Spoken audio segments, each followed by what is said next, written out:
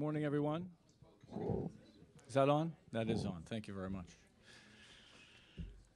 Good to see you all, bright and early. Glad you could join us again today for what uh, no doubt will be another very interesting day. We've got uh, panels on wildlife trafficking and then several country focused panels. Uh, uh so it's uh, a good way to follow up from what we were discussing yesterday. Put sort of the general overview uh, discussion into very specific things and how the, what the data show and and from a perspective of wildlife trafficking, what that looks like and the flows of funds due to that type of activity.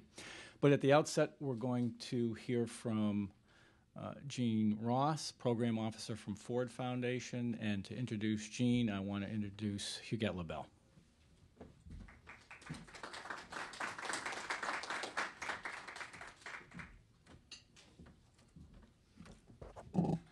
I, sh- I should leave this like this because Jean is taller than I am.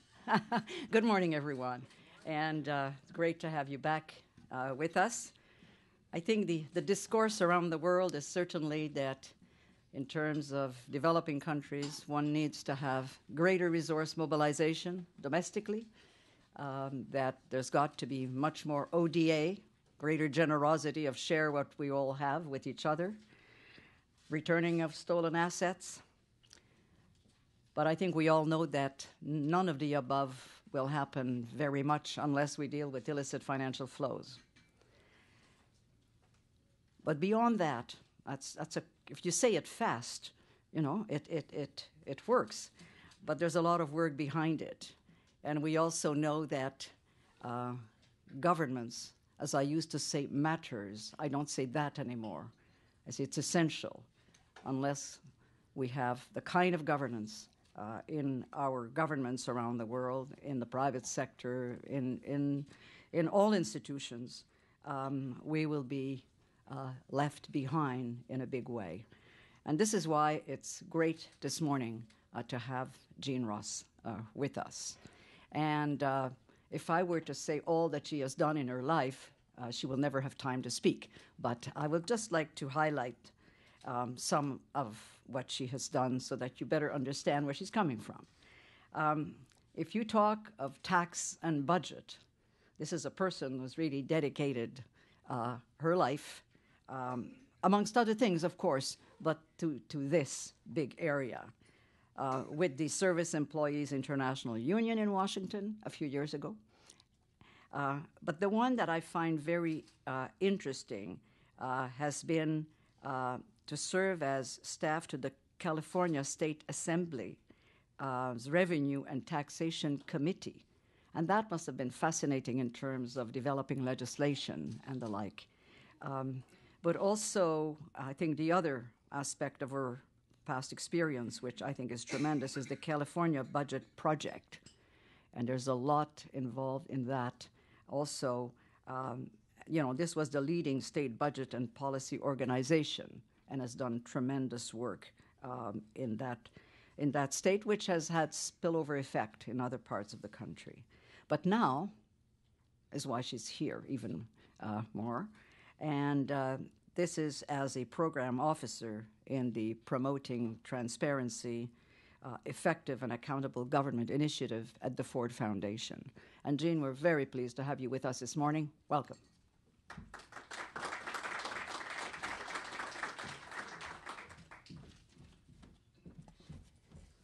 Thank you, and thank you for that kind introduction. I feel like I'm in a room full of kindred spirits, having spent uh, most of my life working on tax policy. There's not a lot of people who uh, you can sit uh, at dinner or in a room like this who who enjoy some of the nuances of things like tax havens and aggressive tax sheltering and the like. So it's really great to be here. Um, and I'd like to also thank you for the kind words towards the Ford Foundation. And I feel a little bit sheepish because they really should all go to uh, my colleague, former colleague Leonardo Burlamaqui, who had the foresight to support this body of work a number of years ago and to really help nurture it and be the thought partner that helped uh, bring it to fruition. And you'll hear from him later today. So I feel like I'm sort of taking a little bit of the credit for really what was the work that he helped to uh, get off the ground. I'd like to, in a fairly short period of time, do two things. First, to talk a little bit about substance, taking off from yesterday's panel, and then I was asked to speak a little bit about where Ford is at and where this set of issues falls into our work going forward. Uh, first, it's a really interesting week to be talking about this set of issues. In case you didn't notice, the Pope is in town, and I think, you know, hopefully we'll have something to say about the broader issues of economic justice and inequality that these issues are so closely linked to. Um, across town today, uh, the economist Gabriel Zucman is releasing a new book on tax havens and the economic uh, implications thereof, which I think probably, again, this is a room full of people who would find that to be a really good vacation read. So, um, it's you know would it would advise you all to look for that and i think that's the good news part of this story i think the not so good news as i was reading on the train coming down yesterday um, is the U.S. decided to delay the, the full implementation of the FATCA rules for U.S. controlled financials this week. And I think, you know, this really points to the fact that there's a lot of opportunity right now, uh, but we're not out of the woods, and there's a lot left to do.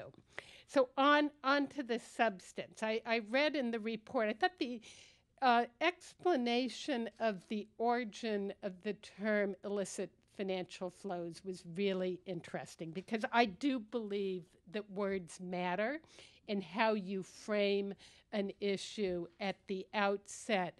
Uh, can open doors, close doors, and help focus attention in a way that also drives to the policy solutions at the end of the day.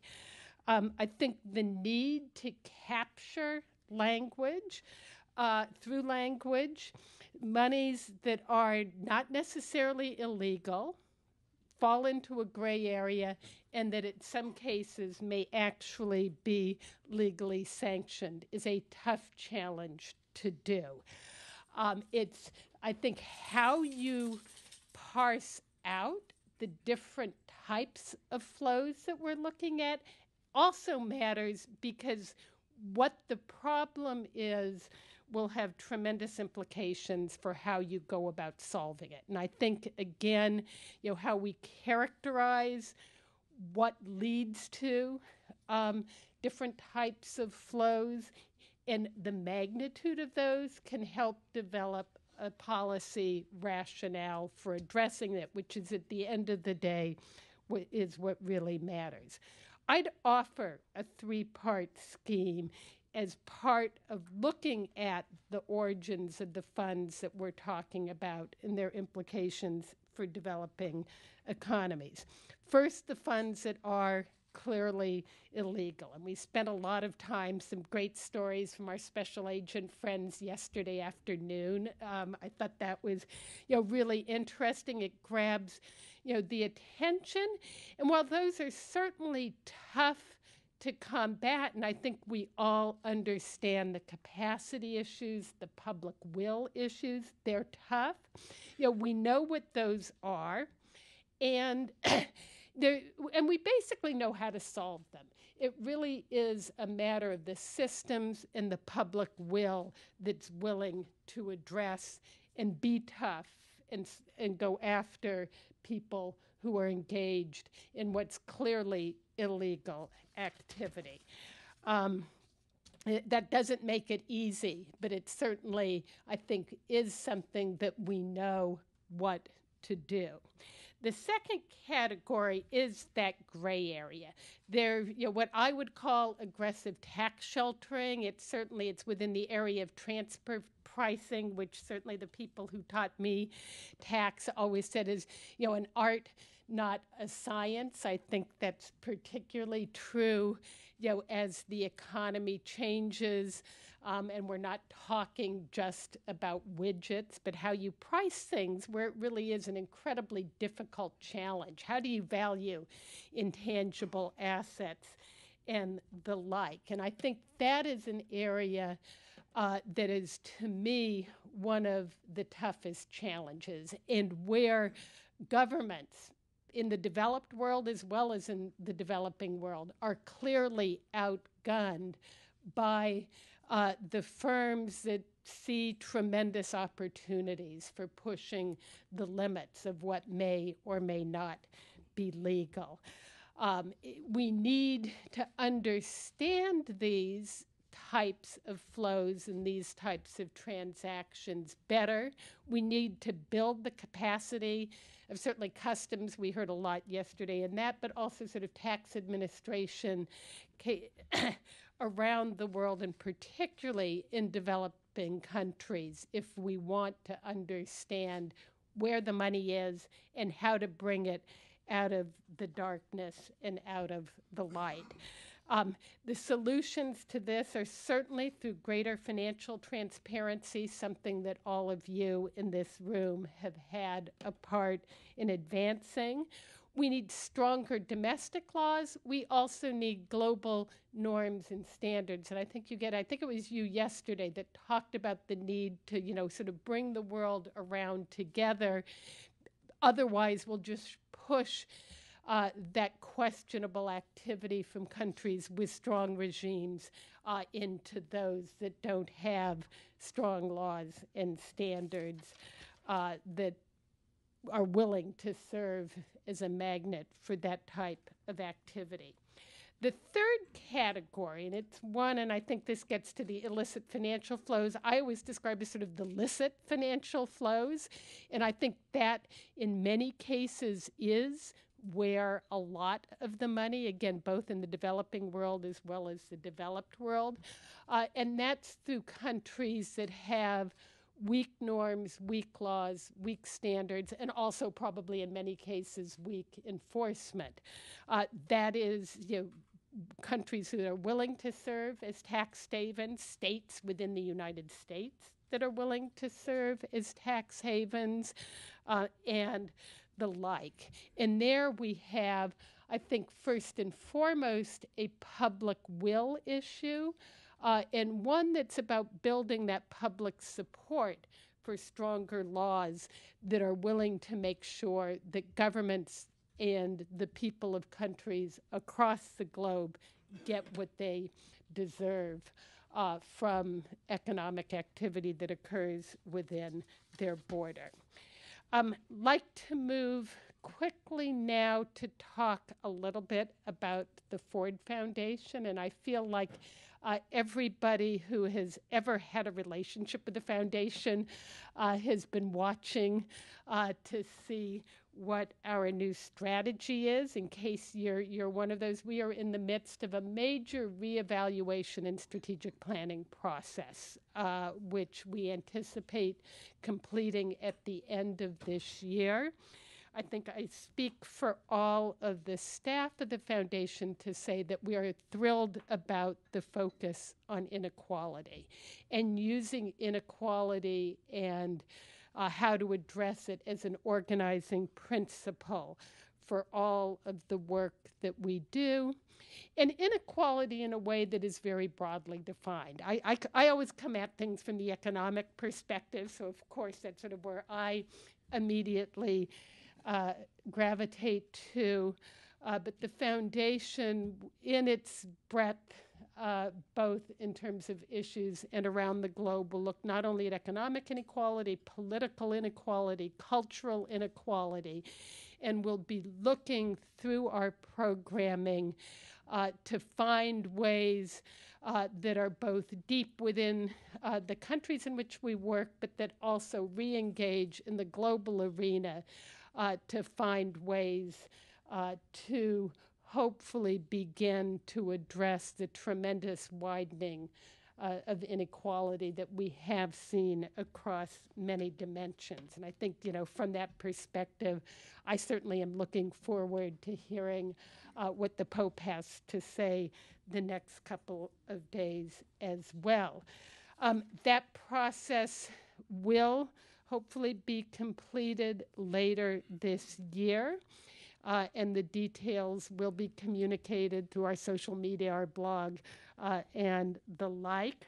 I can tell you that we will be looking at a strategy in this area that does put government at the center and looks at the role that governments can, should, and must play as agents for addressing inequality, both, you know, in terms that that will mean addressing the public will and public trust issues around which illicit financial flows are so important to begin giving people the confidence uh, that their public officials do act with integrity in rooting out corruption where it occurs.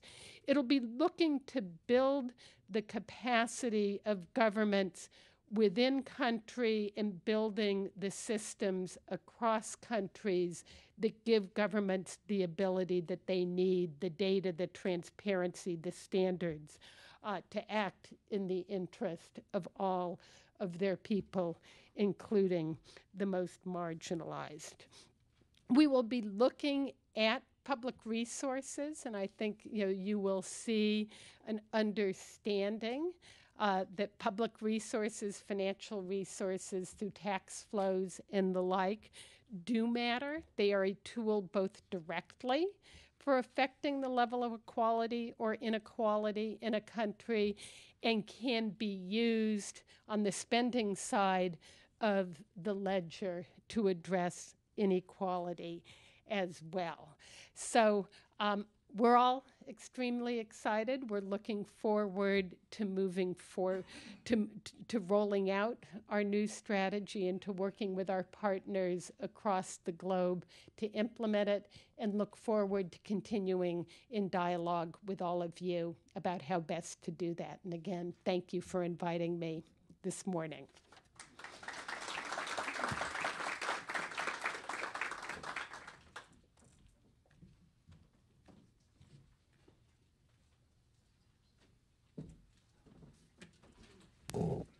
Thank you very much, Jean. Appreciate those comments and uh, brief uh, peek into how Ford is uh, looking at these issues in a new way and, and looking ahead. And uh, there seems to be a, a, new nexus of ideas around uh, good governance and new rules of the road in the context of uh, domestic resources and and how they intersect with inequality. So we're we're at a very interesting time indeed.